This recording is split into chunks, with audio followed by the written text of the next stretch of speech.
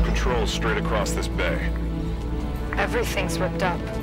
They must be stripping that experimental ship for parts. Scavengers.